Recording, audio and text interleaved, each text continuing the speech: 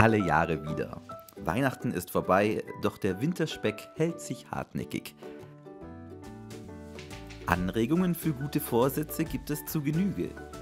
Lifestyle-Magazine präsentieren eine kaum überschaubare Fülle an Diättrends und Ernährungstipps.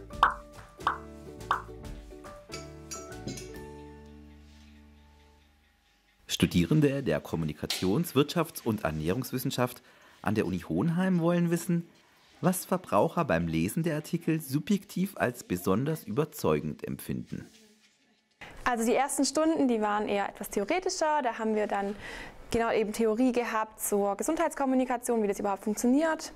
Danach durften wir dann selber ans Werk, ein bisschen äh, überlegen, wie überhaupt ein Diätartikel aufgebaut ist. Dann haben wir uns selber einen überlegt, haben rege diskutiert. Im Rahmen des Reformprojekts Humboldt Reloaded planen die Studierenden schließlich ein Experiment.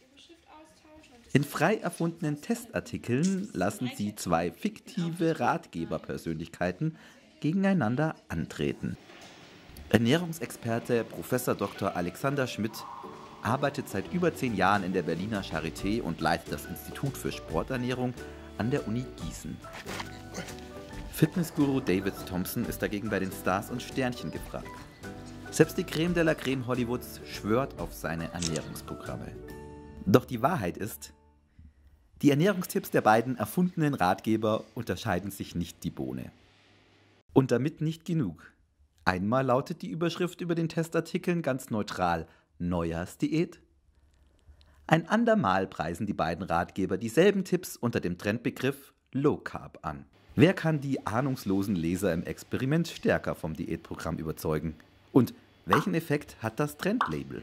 Wir wollten testen, wie sich diese Manipulation auf die Leser auswirkt in Bezug auf die Glaubwürdigkeit, die Umsetzbarkeit und die Effektivität dieser Diät. Dazu haben die Studierenden eine experimentelle Online-Befragung entwickelt. Das Besondere an Humboldt Reloaded?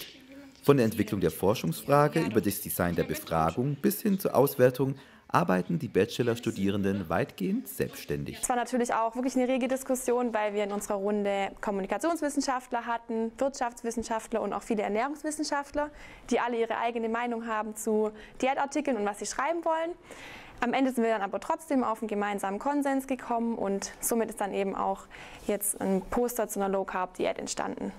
Und wie lautet nun das Ergebnis des kommunikationswissenschaftlichen Experiments? Unterm Strich hat bei den Probanden der Wissenschaftler die Nase vorn. Die Teilnehmer der Studie nahmen ihn nicht nur als kompetenter wahr, sondern schätzten auch die Diät als gesünder ein. Aber das Rennen fiel knapper aus als von den Studierenden erwartet.